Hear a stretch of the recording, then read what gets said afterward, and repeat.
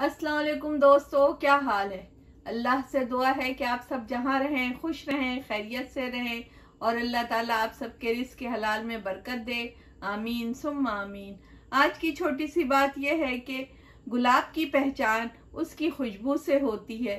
इसी तरह इंसान की पहचान उसके ज़ात, उसके रंग व नस्ल से नहीं होती, बल्कि उसके अखलाक से होती है। तो अपने अखलाक को बेहतरीन करें और हर किसी के लिए आप मिसाल बन जाएँ। ठीक है दोस्तों? तो चलें, बिस्मिल्लाहिर्रहमानिर्रहीम के साथ आज की रेसिपी स्टार्ट कर देते हैं। आज मैं बना रही हूँ गोला कबाब। ये एक बहुत ही पॉपुलर डिश है, हर कोई बनाता है और हर कोई मुख्तलिफ़ अंदाज में बनाता है। तो आप देखें मैं कैसे बना रही हूँ। आप इस तरह से भी बना के देखें, शायद आपको पसंद आए। ठीक है? तो चलें इसके इंग्रेडिएंट्स देख लेते हैं कि हमें इसके लिए क्या क्या चीज़ें चाहिए। मटन का कीमा है हाफ़ के जी के बराबर, ठीक है? और इसमें मैं कुछ मसाले ऐड करूँगी। वो मसाले ये हैं, आप देख लें। सॉल्ट है। वन टीस्पून बराबर लेवल करके आप अपने हिसाब से डालिएगा।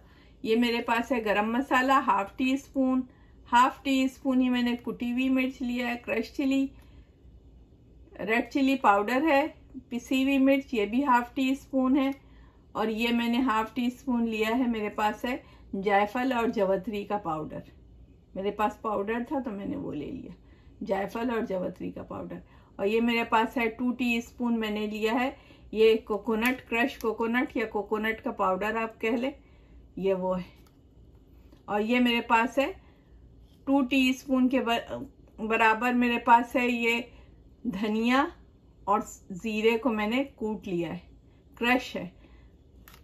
कोरिएंडर सीड और क्यूमन सीड दोनों क्रश है। ठीक है? ये सारे मसाले मैं इसी में ऐड कर देती हूँ। जो मैंने कीमा लिया है, उसमें ऐड कर दूँगी। कुछ मसाले और भी हैं। ये मेरे पास है। मैंने एक अनियन लिया था।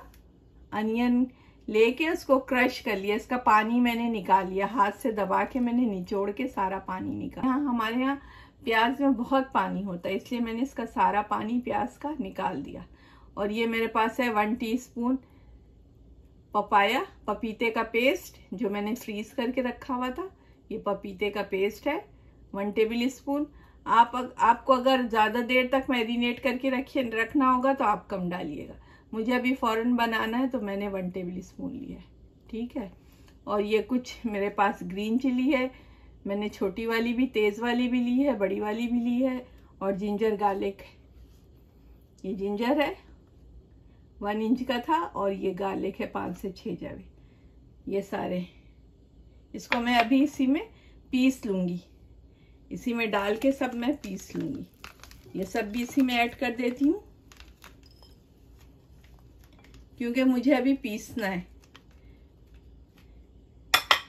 कीमे को भी मैं अच्छे से पीस लूँगी ताकि सारी चीज़ें अच्छे से मिक्स हो जाए। चॉपर में डाल के मैं सारा सब कुछ पीस लूँगी। ये मेरे पास ब्रेड है, एक ब्रेड है। बड़े साइज़ का था तो मैंने एक लिया है, आप छोटा है तो आप दो भी ले सकते। ये ब्रेड है, इसको भी मैं तोड़ के डाल दूँगी। इसको भी अभी मैं तोड़ के इसी में ऐड कर दूँगी। और मेरे पास ये है अनियन। मैंने छोटी एक अनियन लिया, इसको फ्राई कर लिया। ये हाफ़ कप के करीब होगा। ये भी ऐड कर दूँगी। अब इस, इसको मैं चॉपर में डाल के अच्छे से पीस लेती हूँ, ठीक है? सारी चीज़ों को मैं चॉपर में डालती हूँ। डाल के सारी चीज़ों को मैं पीस लेती हूँ, बारीक। ठीक है? उसके बाद फिर मैं आपको बताती हूँ। पीसने के, चॉपर में डाल के मैंने सारे मसाले के साथ इसको चॉप कर लिया, अच्छे से पीस लिया है। इसको मसाले भी इसमें पिस गए और ये अच्छे से मिक्स भी हो गया। लोग इसमें अंडा भी डालते हैं। एग डाल देते हैं हाफ़ डाल देते हैं, एक डाल देते हैं, लेकिन मुझे ज़रूरत नहीं है। मैंने डाला नहीं है और ना मैं डाल के बनाती भी नहीं हूँ, लेकिन कुछ लोग डाल के बनाते हैं। ब्रेड क्रम्स डाला है ब्रेड डाला है तो जिसकी वजह से ये टूटेंगे नहीं, ठीक है? अब मैंने एक चूल्हे पे कोयला रखा है, इसमें स्मोक देने के लिए। तो इसमें स्मोक दे देते हैं, उसके बाद इसके कबाब बना के, गोला कबाब बना के इसको फ्राई करेंगे। डीप फ्राई नहीं करेंगे, हल्का थोड़े से शेलो फ्राई करेंगे। और अगर आप डीप फ्राई करते हैं तो आप थोड़ा सा अंडा ज़रूर डालें, ठीक है? स्मोकी से अच्छा सा फ्लेवर आ जाए इसमें। थोड़ा सा ऑयल डाल देती हूँ। स्मोक अच्छे से आ जाए। उसके बाद मैं इसके गोला कबाब बना लूँगी, फिर मैं आपको बताऊँगी। मैं हाथों में थोड़ा सा ऑयल लगा रही हूँ। आप ऑयल लगा लें या पानी कुछ भी लगा लें, पानी लगा लें ऑयल लगा लें, कुछ लगा लें। और उसके बाद फिर इसके गोला कबाब ऐसे बना लें, जिस तरह से शेप देते हैं गोला कबाब के थोड़ा सा और उसके बाद एक मैंने पैन चढ़ाया है फ्राई पैन चूल्हे पे, और उसमें थोड़ा सा ऑयल डाला है। मैं डीप फ्राई नहीं करूँगी, मैं शेलो फ्राई करूँगी। शेलो फ्राई करूँगी और उसके लिए मैंने कबाब बना ली है। अब इसको शेलो फ्राई कर लेते हैं, फिर मैं आपको दिखाती हूँ। ऑयल डाला, ज़्यादा नहीं डाला। शेलो फ्राई करूँगी और उसके लिए जो मैंने कबाब बना के रखे हैं, उसको इसी में डाल देती हूँ। जब मैं बॉल्स बना रही थी तो मैंने इसमें थोड़ा सा हरी धनिया डाल दिया। आप इसको सीख पे भी फ्राई कर, सीख पे भी आप इसको बारबेक्यू कर सकते हैं। लेकिन उसके लिए चौड़ी वाली, मोटी वाली जो चौड़ी वाली सीखें होती है ना वो उसकी ज़रूरत होती है और फिर उसकी ज़रूरत होती है और साथ में आपको थोड़ा सा धागा भी चारों तरफ़ लपेटना पड़ता है क्योंकि इसमें हमने पपीते का पेस्ट डाला है। तो उससे ज़्यादा गल के वो सीखों पे गिरे ना। दूसरी एहतियात हमें ये करनी है कि इसमें किसी चीज़ में भी कीमे में और जो कच्ची प्याज हमने डाली है, किसी चीज़ में पानी ज़्यादा ना हो।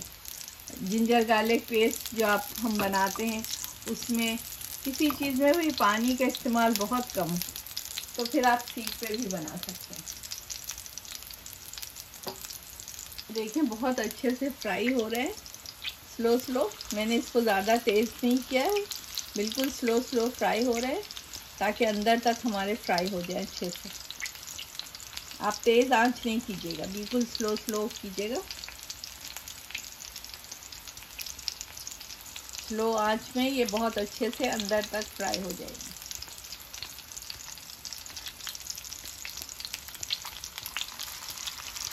मैं इनको निकाल लेती हूँ।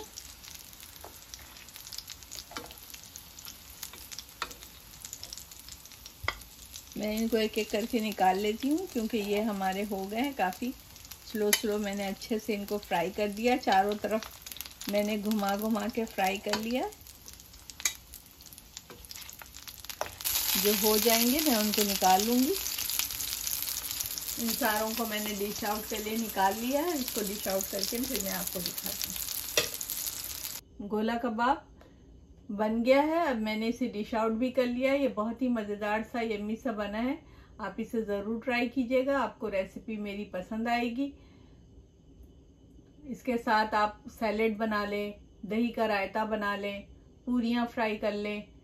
जो पूरी पराठा होता है तो बहुत ही मज़ेदार सा और अच्छा सा आपका डिनर रेडी हो जाएगा।